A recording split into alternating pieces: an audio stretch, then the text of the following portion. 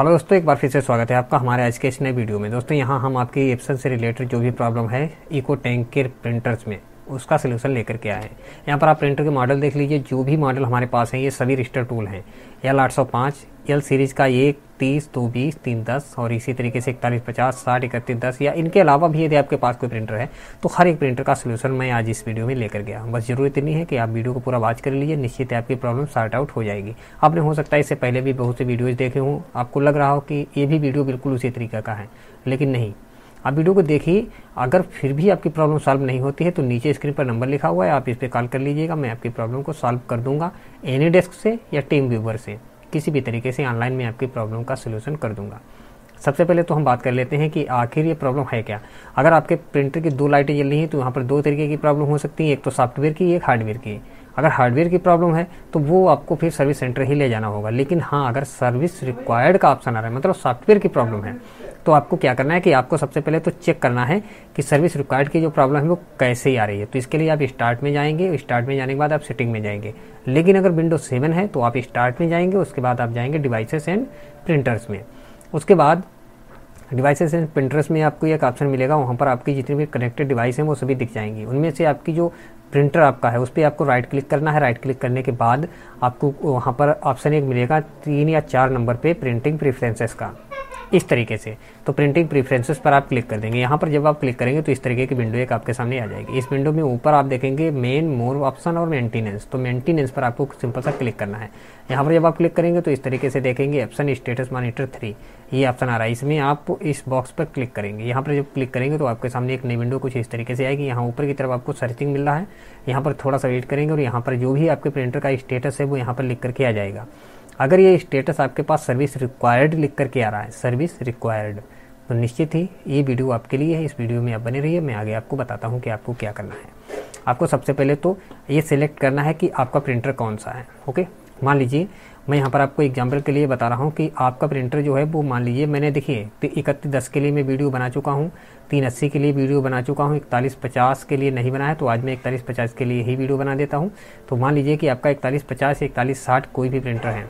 बाकी ये सभी वीडियोज़ बन चुके हैं। आपको बस ज़रूरत है कि आप डिस्क्रिप्शन बॉक्स में जाएँ, वहाँ पर आपको लिंक मिल जाएगा। हमारी प्लेलिस्ट का, जिसका नाम है प्रिंटर उसमें आपके सभी वीडियोज़ मिलेंगे। सब बिल्कुल फ्री हैं, कोई भी चार्ज किसी को नहीं देना है सब सब कुछ मैंने फ्री बताया है। अब यहाँ पर इकतालीस पचास जो प्रिंटर है, इस पर आपको राइट क्लिक करना है, इस फोल्डर पे एक्सट्रैक्ट फ़ाइल उसके बाद आप इसे एक्सट्रैक्ट करेंगे। लेकिन आपको ध्यान रखना एक्सट्रैक्ट करने से पहले आपको अपना एंटीवायरस डिसेबल करके रखना है। मेरे पास देख लीजिएगा, मेरे केस में एंटीवायरस जो है वो डिसेबल है। यहाँ पर आप देखिए तो के सेवन प्रोटेक्शन डिसेबल्ड लिख करके आ रहा है। आप देख लीजिए कि प्रोटेक्शन यहाँ पर जो है वो डिसेबल्ड लिख करके भी आ रहा है। अभी इस, यहाँ पर देखिए प्रोटेक्शन डिसेबल्ड है।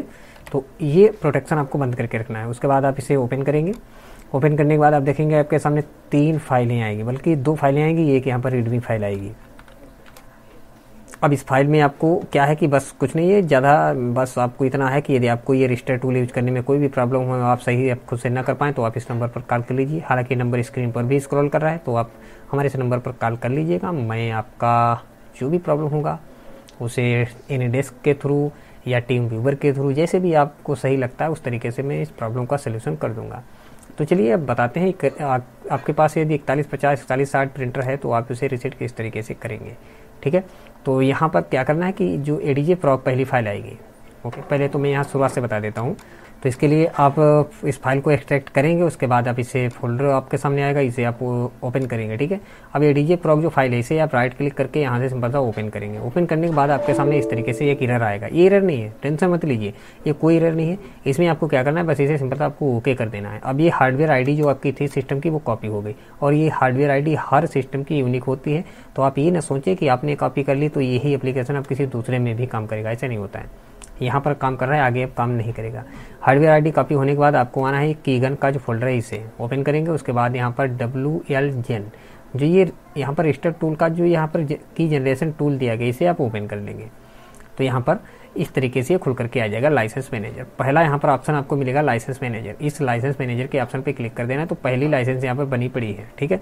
इसे हम कर देते हैं डिलीट ओके डिलीट लाइसेंस पे क्लिक करके इसे हम डिलीट कर देंगे। ओके यस कर देंगे।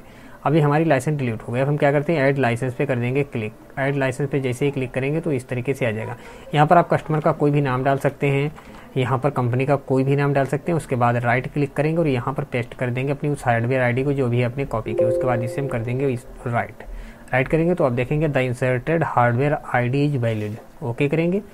और नीचे की तरफ़ स्क्रॉल करके आएँगे और यहाँ पर आप देखेंगे लिखा है सेव सेव पर जैसे आप क्लिक करेंगे तो हार्डवेयर आईडी आपकी सेव हो जाएगी। लेकिन अभी आपकी की जनरेट नहीं हुई तो इसके लिए आप क्लिक कर देंगे क्रिएट लाइसेंस की यहाँ पर क्लिक करने के बाद अब ये की आपकी जनरेट हो गई, इसे आप सिंपल सा ओके कर देंगे और इसको आप विंडो को यहाँ से कर देंगे कट उसके बाद आप देखेंगे सबसे ऊपर की तरफ़ आपका एक फोल्डर जनरेट हो गया जो अभी आपने नाम दिया था।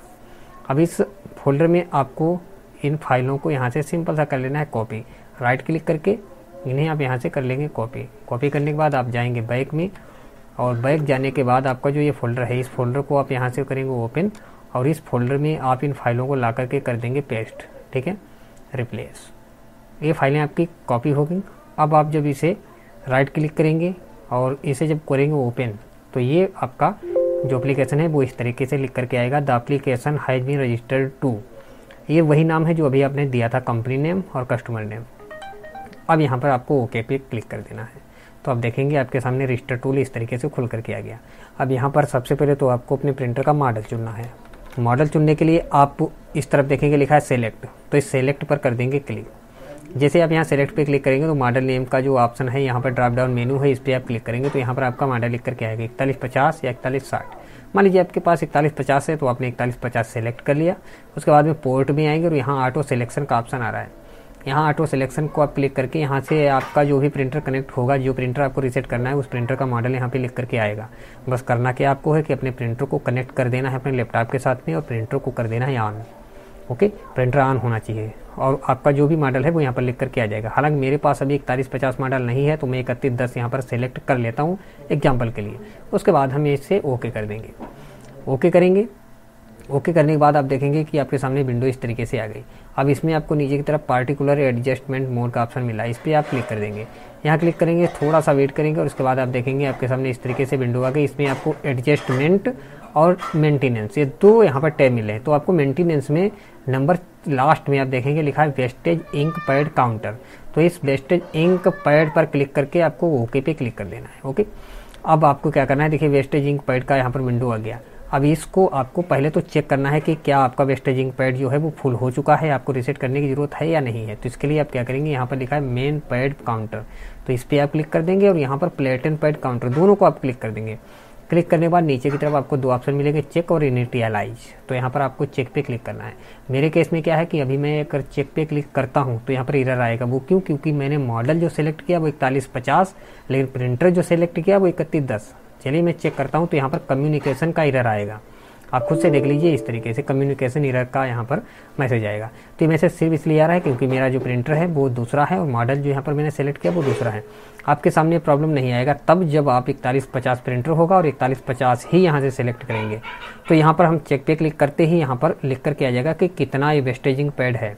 6345 जो होता है वो टोटल होता है। उससे ज़्यादा अगर होगा, यहाँ पर 100 परसेंट अगर लिख करके आ गया यहाँ पर अगर आपका 100 परसेंट लिख करके आ गया तो इसका मतलब है रिसेट करने की ज़रूरत है। तो आप रिसेट करने के लिए क्या करेंगे? दोनों चेक बॉक्स को टिक कर देंगे और नीचे आएँगे, यहाँ इंटेलाइज पे लिख देंगे क्लिक इंटेलाइज पे क्लिक करते ही आपके सामने इस तरीके से आएगा when the okay button is clicked counter will be initialize आपको यहाँ सिंपल सा ओके कर देना है। जैसे आप ओके करेंगे? तो आपको लिख करके आएगा please restart your printer please turn off your printer इस तरीके से एक वार्निंग आएगी तो आपको अपना प्रिंटर जो है उसे ऑफ़ कर देना है। प्रिंटर को ऑफ़ करेंगे उसके बाद ऑन कर देंगे। प्रिंटर आप ऑन करेंगे तो आप देखेंगे कि आपका प्रिंटर सही हो चुका है। बाकी ये प्रोसेस फॉलो करने में या जो जो कुछ मैंने बताया इसको कुछ भी आपको प्रॉब्लम आती है तो बस आप एक काम कर लीजिए कि मैंने जो आपको नंबर दिया है स्क्रीन पे आप नंबर नीचे स्क्रॉलिंग में देख रहे हैं बाकी यहाँ पर मैंने लिख भी दिया है आ, कि आप कॉल या व्हाट्सअप कर सकते हैं इस नंबर पे तो आप इस नंबर पे कॉल करिएगा।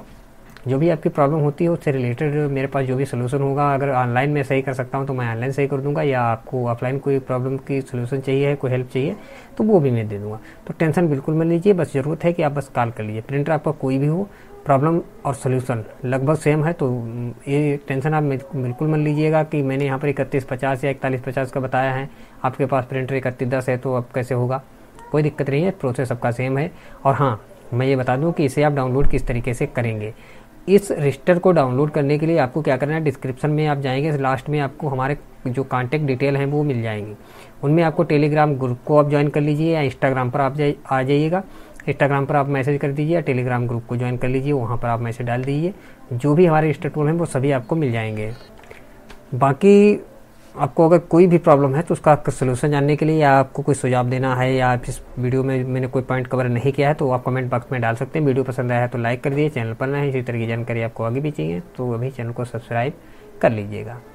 डिस्क्रिप्शन में जाकर के प्लेलिस्ट को एक बार ज़रूर बात करिए। हो सकता है कि कोई वीडियो आपके काम का निकले।